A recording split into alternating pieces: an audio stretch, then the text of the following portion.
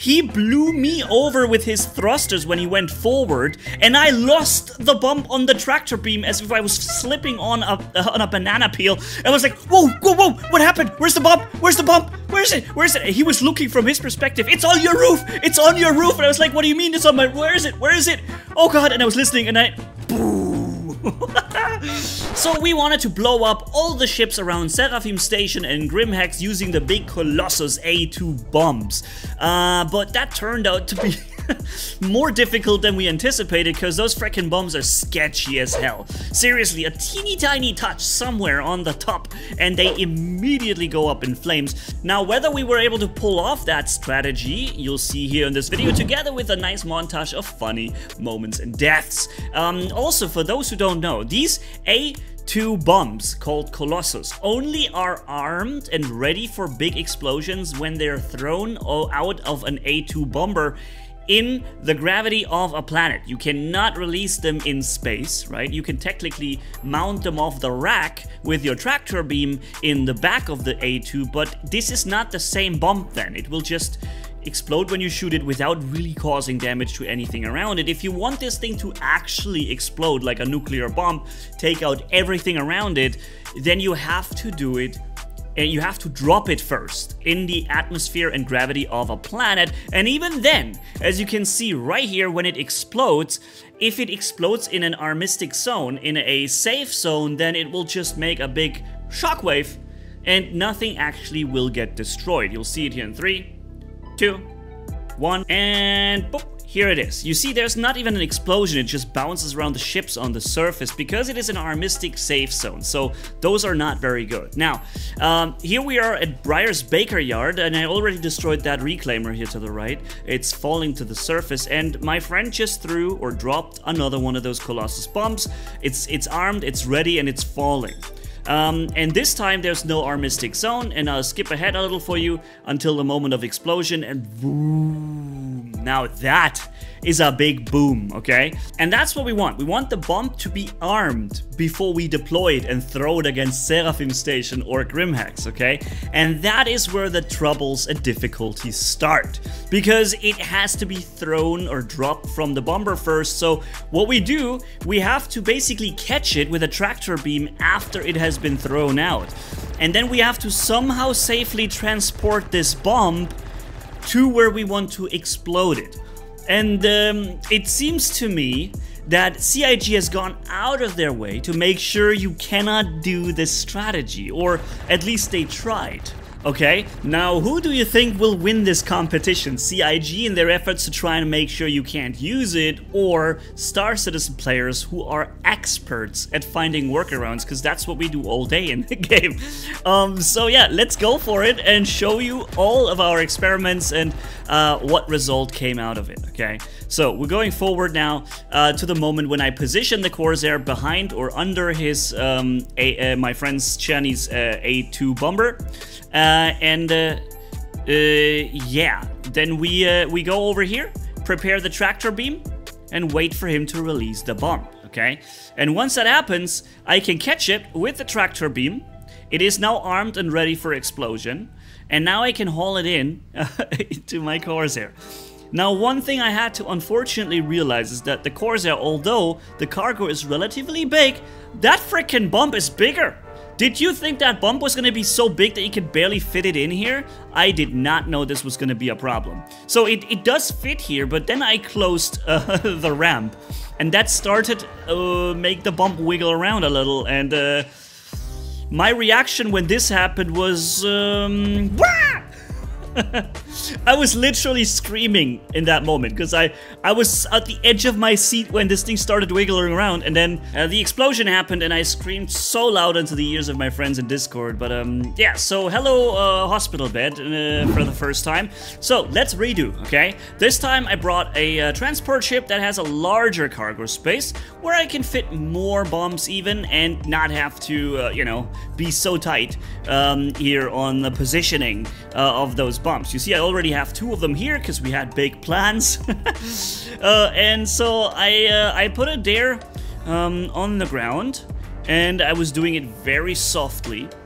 And I also rotate the bomb so that it sits basically on, on its wings a little, and the front tip will touch the ground ever so softly, and, well, it was safely, yeah, it was safely positioned. I was like, yay, okay, good, let's go for it. I, I even helped my friend Chani here to, um, to take an extra bomb for his own, um, cargo because you know he can throw it out and then he I can give it to him from on his ramp and he positions it in, in his ship.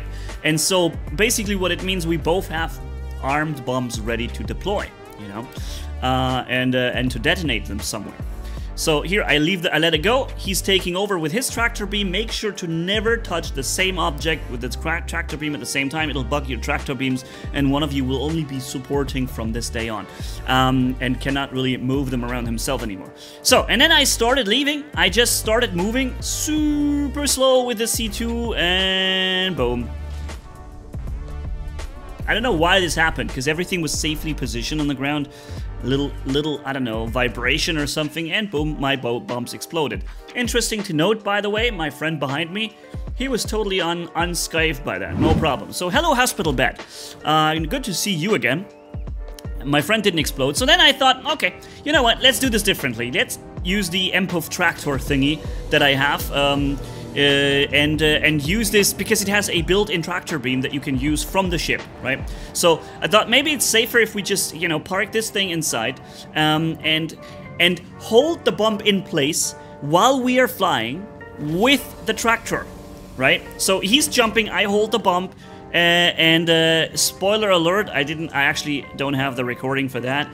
I was able to catch the bump with the tractor, um, but then somehow my tractor kept falling. Mm, I'm not sure why, but I couldn't safely position it and somehow boom, explosion and I died. So I was like, I was back to doing it on foot. Then we were transporting the next bump and what happened next is somehow freaking raiders appeared out of nowhere um, with uh, cutlass, uh, blacks and whatever and um, forced me to do this a little faster and I touched the ship a little and boom, hello hospital bed. So, um, yo, this was, um, this was quite a day. Uh, so I came again, this time there's no uh, no pirates, no raiders, nothing in the air. So I caught the next bump and I uh, brought it over here. Now my friend took the bump into his ship and we had uh, yeah, wait, how, what happened next? That's right, I, I had the idea to put the bomb in vertically. I thought, oh, okay, if nothing hits the top of the bomb, then it will not explode, so I just put it in vertically. But doesn't fit, touches the roof, boom, explosion, hello, hospital bed. Now, the next thing that happened was the most fun thing I've ever experienced.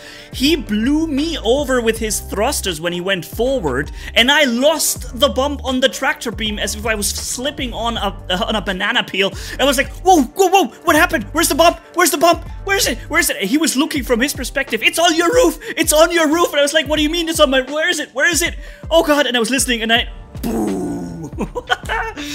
Dude, that was so ridiculous. I tried to re replicate the situation that happened in Discord, but this is pretty much how it looked or sounded like but even more um, real because I was freaking scared to death when I lost a bump somewhere and he told me it was on my freaking roof. that was really crazy. Now, and then I was falling because somehow I didn't die, but the ship exploded. And I was falling with the ship. Um, and um, yeah, this is uh, what happened next. I landed on the ground and I died, of course. Voop. Hello, hospital bed. Good to see you again. It's been a while. So, uh, next situation is how to unglitch the Corsair. I thought I showed this to you because I'm sure some of you don't know that yet. Um, is that you go back, you you uh, you retract your landing gear, you go back as far as you can, and then you just freaking boost forward like a maniac against the wall. Typically, you will not lose your weapons when you're doing that. You'll just, um, yeah, you'll just go forward against the wall and you glitch yourself free. Maybe you have to do it a few times, but I thought I showed this to you because sim somehow it's still part of the game. I don't know how, but it's this long. But yeah, it's still there. Now, last but not least, we tried the strategy that should work the best way, right? That is if he takes the bomb into his own ship, you know? Uh, I let go, he will take it over. Um, and what I do next, I will jump over to his ship. So we are now both in the same ship. He's just gonna keep the bomb on his tractor beam while I'm just going to go and fly the ship to Seraphim Station, for example. Okay, so I'm leaving my Corsair out here, doesn't matter, uh, and we're we're leaving, right? And he just never leaves the bomb off the tractor beam. The bomb can never explode because it doesn't doesn't touch anything, right? So this should work, no problem. So as you can see here, we're now uh, flying away. Uh, the bump is always on its tractor beam. I'm gonna close the ramp and I'm gonna uh, execute the quantum jump. And here is the most disheartening thing uh, ever is that as soon as we started jumping, uh, a few seconds later, uh, the bomb just disappeared from his tractor beam. It was just gone. And that was the moment we realized that um, CIG won this competition. Unfortunately, they have really gone out of their way to make sure you cannot misuse these bombs. They cannot operate in space. As soon as you quantum jump to a station or somewhere, it will just disappear. It will just whoop and it's gone, right? Uh, and that's super sad because um, we had big plans with this. We wanted to clear all these white brackages that are hanging around everywhere and, uh, you know, taking up server performance. We wanted to just destroy them um, with one big explosion. Or do some other shenanigans around uh, Grimhex. And apparently this is something that, that uh, CIG doesn't want to happen. And they the bombs literally just dematerialize as soon as you move away such and such far distances from your throwing point where you drop them. And since you can't drop them in space, you have to do it on a planet. That means you can't transport them elsewhere to use them. Super sad because why in this big sandbox game where uh, the player make the gameplay why would you prevent certain freedoms of uh, of experimentation like this? It's really sad, and uh, I hope they will bring it back in because man, this is exactly the kind of thing that Star Citizen players are experimenting and enjoying, right? This kind of freedom to just fool around and do all kinds of funny stuff in the sandbox universe. But yeah, so doesn't work. Unfortunately, the entire strategy was doomed uh, because CIG made sure it's not working. So yeah. Tell me what uh, ideas you might have that we could try. Thanks for watching, catch you in the next one, and Manni signing off. Bye bye, my friends.